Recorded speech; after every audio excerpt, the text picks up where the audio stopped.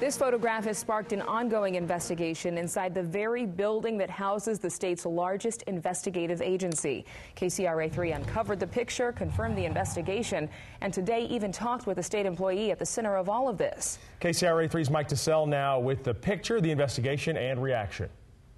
This is the photograph of a state employee that now has the Department of Justice investigating and coworkers calling it disturbing. Kind of scary. I would say that it's probably not in the best of taste. Multiple sources confirmed that this photograph was posted here on a cubicle inside the headquarters of the California Department of Justice. Well, you can tell it's our office.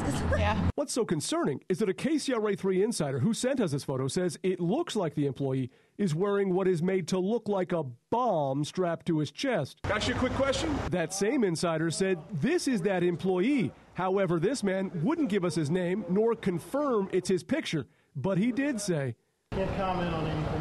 What do you mean you can't comment? I can't comment on anything. Regarding that investigation, I asked a spokesperson to elaborate. He would not say what exactly it is they're looking for or hoping to determine through this ongoing investigation looking into this photo. In Sacramento, Mike TeSelle, KCRA 3 reports. Now, the DOJ stresses that the photograph was removed weeks ago. KCRA also tried contacting that employee believed to be in that picture, but he hung up on us and did not return a voicemail.